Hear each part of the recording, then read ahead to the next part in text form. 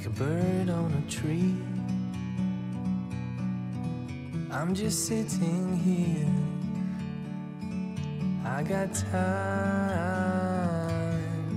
it's clear to see from up here. Guys, Assalamualaikum warahmatullahi wabarakatuh. Saya Siska Olivia dan saat ini saya sedang berada di Taman Narmada Dan rencananya saya akan mengajak kalian semua untuk mengeksplor lagi bagaimana sih uh, atau ada apa sih di Taman Narmada. Nah di belakang Siska, di belakang Siska sudah ada salah satu peta Taman Narmada Yang di mana berisi sejarah-sejarahnya. Lalu juga ada uh, lokasi-lokasi. Jadi kalau misalnya yang teman-teman yang mau ke sini itu jangan takut untuk tersesat ya di jalan karena sudah ada tuh uh, keterangan di letak-letak lokasi seperti Candi Bentar, Telaga Kembar dan lain sebagainya. Nah, untuk itu sekilas informasi dulu. Ini sudah Siska sudah beli tiketnya ya. Jadi di sini harganya 10.000 dan untuk harga wisatawan asing itu seharga 15.000. Nah, jadi yang penasaran bagaimana perjalanannya saya di sini? Ikutin Siska terus.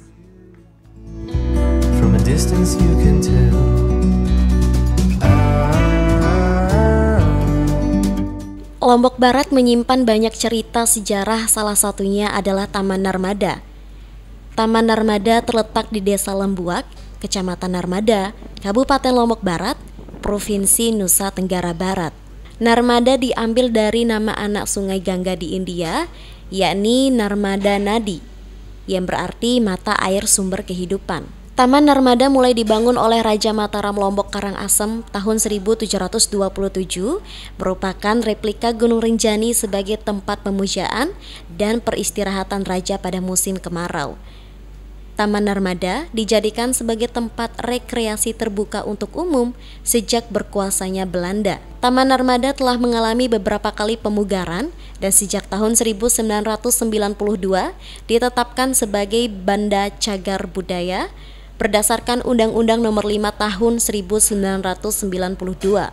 Untuk para wisatawan yang ingin berkunjung ke Taman Narmada ini, cukup membayar tiket masuk 10.000 untuk wisatawan lokal dan 15.000 untuk wisatawan domestik. Oke, setelah tadi Siska melewati pintu masuk dan juga sudah eh, membaca membaca peta juga. Nah, di sini Siska sudah ada di Balai Loji, yaitu di mana merupakan sebuah bangunan yang memiliki serambi terbuka dan berfungsi sebagai tempat tinggal raja bersama istrinya. Nah, jadi kalau mau tahu nih bagaimana eh, secara lebih jelasnya Balai Loji, nanti Siska kasih tahu. Balai Loji juga merupakan tempat yang digunakan untuk menyimpan persediaan senjata milik pasukan kerajaan serta kuda. Bangunan ini berbentuk seperti rumah panggung. Bagian bawah dari bangunan ini dulunya berfungsi sebagai gudang, sedangkan bagian atasnya terdapat tiga ruangan yang berfungsi sebagai kamar keluarga kerajaan. Dua ruangan merupakan kamar permaisuri Lombok dan Bali yang masing-masing berada di bagian selatan dan utara bangunan. Sedangkan satu ruangan lagi di bagian tengah merupakan ruang terbuka yang di mana raja dapat menikmati pemandangan arah Meru Pura di sebelah timurnya dan dapat langsung mengarah ke tempat pemandian para selir.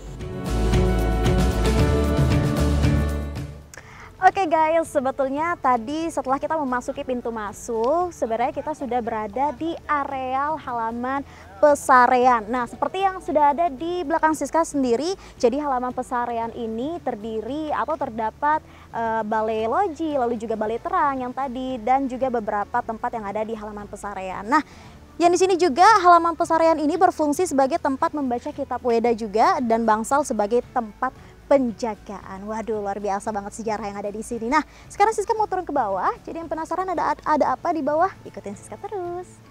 Halaman pesarean semula pada halaman ini terdapat balai loji, telaga Patmawangi, Pawedayan, Pawargan, dan juga balai terang yang berfungsi sebagai tempat membaca kitab Weda dan bangsal sebagai pembacaan. Kolam ini dinamakan Patmawangi karena ditumbuhi banyak bunga patma yang harum mewangi.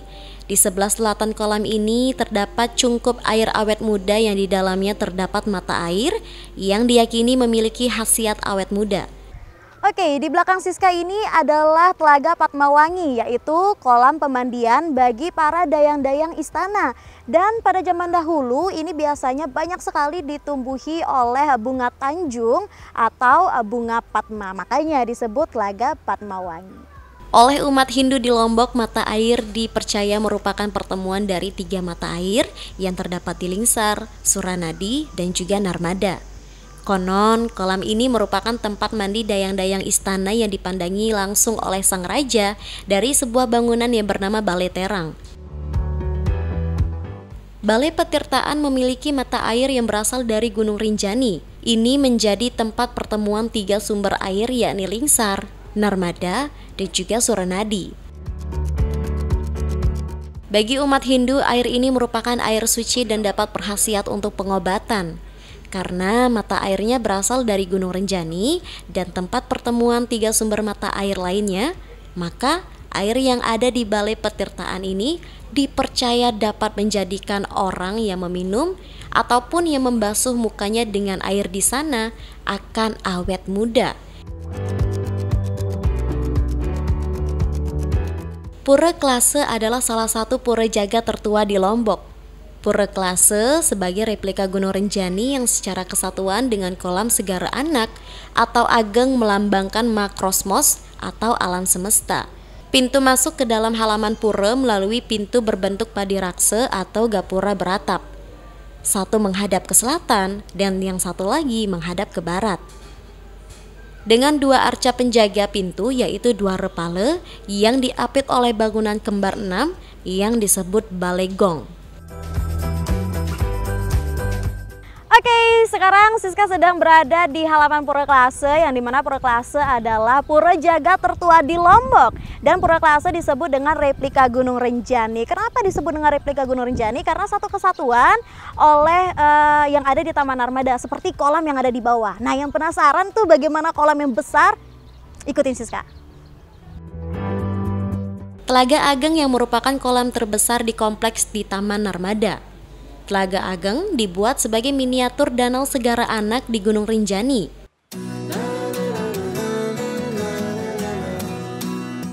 Telaga Ageng sebagai pengganti tempat pelaksanaan upacara Pakelem setiap purnama kelima tahun Sake, yaitu bulan Oktober sampai dengan November. Karena raja tidak mampu lagi ke Gunung Rinjani, upacara Pakelem adalah upacara yang dikaitkan dengan kesuburan dan turunnya hujan, disebut juga upacara Meras Danu. Di tepi telaga terdapat pancuran berbentuk patung gajah, patung satria, dan miniatur candi dengan bentuk matahari yang keseluruhannya menunjuk tahun 1801 Sake atau 1879 Masehi yang menunjukkan selesai rehab Telaga Ageng. Pada kompleks Taman Armada juga terdapat replika Telaga Segara Anak yang berada di Gunung Rinjani Fungsi dari replika tersebut untuk kepentingan upacara karena raja telah berusia lanjut dan secara fisik tidak kuat lagi memimpin upacara langsung di telaga yang berada di puncak Gunung Renjani. Struktur bangunannya dirancang memusat karena kompleks Taman Narmada menyerupai Gunung Renjani dan di tengah halaman pura dibuat lebih tinggi sebagai tanda bangunan yang disucikan. Bangunan yang disucikan tersebut yakni Pelinggih atau Meru yang merupakan tempat bersemayamnya para dewa. Oke, itu dia perjalanan Siska di Taman Armada yang penuh dengan sejarah. Jadi semoga informasi yang Siska bawakan tadi dapat bermanfaat dan dapat menambah wawasan serta pengetahuan kalian semua. Sampai jumpa di perjalanan Siska berikutnya. Dadah!